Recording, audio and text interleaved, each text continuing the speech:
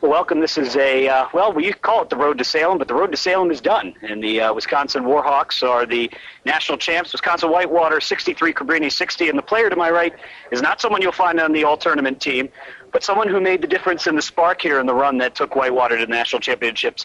It is, uh, as we, as, as Whitewater again, with a 63 to 60 win. I'm joined by Quardell Young. Quardell, you came in you felt, fielded a lot of questions in the in the post game about your defense. So let's start with that. A lot of players would like to know and figure out what you did. What was the key to stopping Corey Lemons, who had zero points in the second half?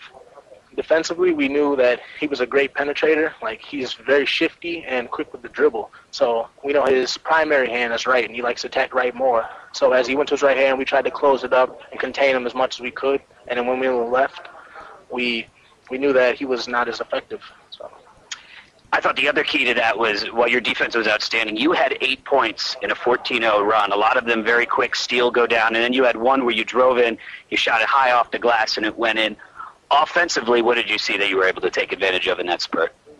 Using my advantage as my speed, I just knew I can get in the seams using my quickness, and I drove and used those advantages, got some buckets, so that was well. Uh, Chris Davis is the tournament MVP. He's also the D3Hoops.com National Player of the Year and all kinds of other accolades.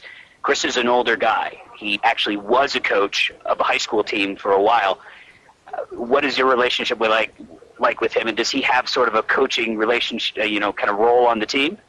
Yes, he definitely has a coaching relationship with all of our players. Like we've seen the double team all year. Like they double team off of our ones and our fours, so we knew that we would have to step up. Like he puts the ball in our in our hands and gives us the space.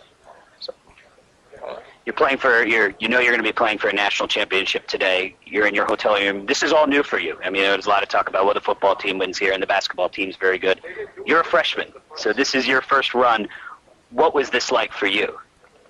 This has been a crazy experience. Like I've never experienced uh, state tournament, and this is my first time getting to the national, obviously, and it's just been it's been crazy. What brought you to Whitewater? What drew you there? Uh, Coach Pat Miller, he really told me a lot about his program. He got me there for a visit. I like the guys. I like I seen the chemistry that we could have we built, and things went well from there. And Davis will graduate, and a few other guys will graduate. You'll still be very young. You'll still be a sophomore. How will you prepare next season for another run to get perhaps back to Salem?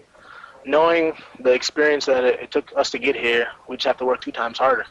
So we have some seniors leaving. Chris Davis, a big piece, a huge piece, and we're just going to have to pick it up. Some more guys coming in, and have to work two times harder.